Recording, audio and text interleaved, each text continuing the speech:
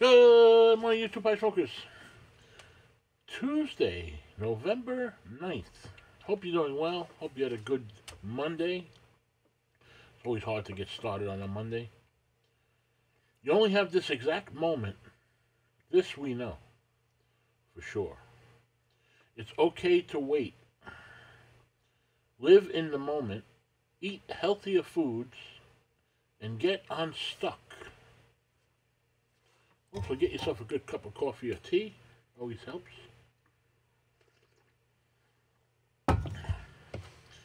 Be well, stay safe, have a great week. Thank you.